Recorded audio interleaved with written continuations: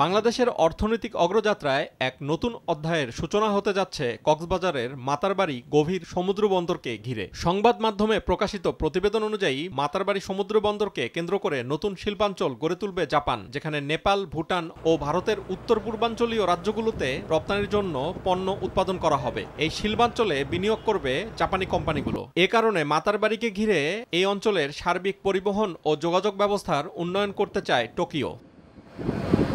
সম্প্রতি ভারত সফরের সময় মাতারবাড়ি বন্দরকে কেন্দ্র করে উত্তর পূর্ব ভারত এবং বাংলাদেশকে ঘিরে এই ইন্ডাস্ট্রিয়াল হাব তৈরির পরিকল্পনা উপস্থাপন করেন জাপানের প্রধানমন্ত্রী ফুমিও কিশিতা। তবে মাতারবাড়ির ব্যাপারে জাপানের আগ্রহ শুধু পরিকল্পনার পর্যায়েই থেমে নেই। এ ব্যাপারে তারা এগিয়ে গেছে বহুদূর। তার প্রমাণ, ভারতে জাপানের প্রধানমন্ত্রী সফরের পরপরই বাংলাদেশকে তিনটি প্রকল্পের জন্য একশো সাতাশ কোটি ডলার অর্থায়নের অনুমোদন দিয়েছে টোকিও, যার মধ্যে অন্যতম মাতারবাড়ি গভীর সমুদ্র বন্দর।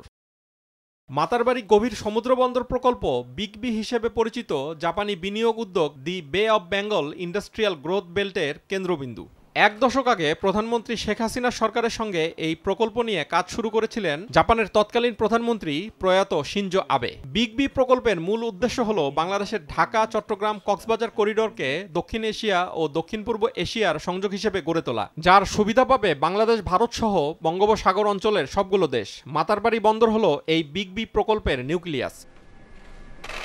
স্বাধীনতার পর থেকেই বাংলাদেশের অন্যতম গুরুত্বপূর্ণ উন্নয়ন সহযোগী জাপান। তবে মাতারবাড়িতে বিনিয়োগের ক্ষেত্রে জাপানের নিজের স্বার্থও রয়েছে। কোয়াড হিসেবে পরিচিত যুক্তরাষ্ট্রের নেতৃত্বাধীন ইন্দো প্যাসিফিক জোটের গুরুত্বপূর্ণ সদস্য জাপান। জাপানের সংবাদ মাধ্যম নিকি এশিয়ায় প্রকাশিত প্রতিবেদনে বলা হয়, মধ্যপ্রাচ্য থেকে জাপানের জ্বালানি সরবরাহের প্রধান রুট বঙ্গোপসাগর। তাই এই অঞ্চলে শান্তি ও স্থিতিশীলতার প্রয়োজনে বঙ্গোপসাগর অঞ্চলে অর্থনৈতিক উন্নয়নে আগ্রহী জাপান। এ পরিস্থিতিতে আন্তর্জাতিক ভূ রাজনীতিতে বাংলাদেশকে গুরুত্বপূর্ণ করে তুলেছে মাতারবাড়ি গভীর সমুদ্র বন্দর প্রকল্প। মিয়ানমারে সামরিক বাহিনী ক্ষমতা কুক্ষিগত করায় সেখানে বিনিয়োগে আগ্রহী নয় আন্তর্জাতিক বিনিয়োগকারীরা। তবে গণতান্ত্রিক শাসন থাকায় বঙ্গোপসাগর অঞ্চলে বাংলাদেশ এই মুহূর্তে আন্তর্জাতিক বিনিয়োগকারীদের জন্য অত্যন্ত আকর্ষণীয় একটি গন্তব্য। মাতারবাড়িতে জাপানের বিপুল বিনিয়োগ তার প্রমাণ। বাংলাদেশে ইতিমধ্যেই তিনশোর বেশি জাপানি কোম্পানি কাজ করছে। মাতারবাড়িকে কেন্দ্র করে কর্মযজ্ঞ শুরু হলে আরও বিপুল পরিমাণ জাপানি বিনিয়োগ আসবে বলে ধারণা করা হচ্ছে। জাপানের প্রধানমন্ত্রী কিশিদার আমন্ত্রণে আগামী পঁচিশ এপ্রিল দেশটি সফরে যাচ্ছেন প্রধানমন্ত্রী শেখ হাসিনা। এই সফরে জাপানি বিনিয়োগের বিষয়ে আরও বিস্তারিত আলোচনা হবে বলে ধারণা করা হচ্ছে।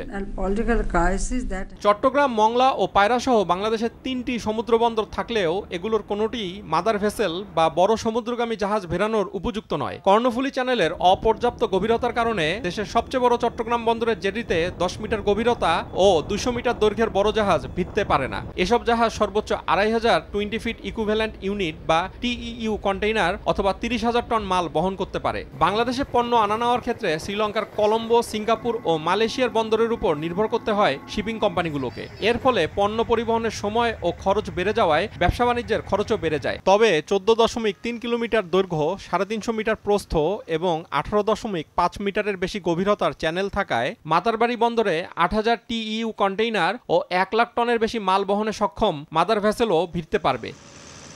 বর্তমানে বাংলাদেশ থেকে যুক্তরাষ্ট্রে পণ্য পাঠাতে সময় লাগে গড়ে পঁয়তাল্লিশ দিন। তবে মাতারবাড়ি বন্দর চালু হলে সে সময় কমে দাঁড়াবে মাত্র তেইশ দিনে। কারণ মাদার ভেসেলের জন্য বাংলাদেশকে আর সিঙ্গাপুর, কলম্বো কিংবা মালয়েশিয়ার ওপর নির্ভর করতে হবে না। গবেষণায় দেখা গেছে, যদি বাংলাদেশে ষোলো মিটার গভীরতার জাহাজ ভিড়তে পারে, তবে পণ্য পরিবহনের খরচ হ্রাস পাবে পনেরো শতাংশ। ফলে শুধুমাত্র মাতারবাড়ি বন্দর চালুর মাধ্যমেই দেশের সামগ্রিক জিডিপিতে যোগ হতে পারে দুই থেকে তিন শতাংশ বাড়তি প্রবৃদ্ধি।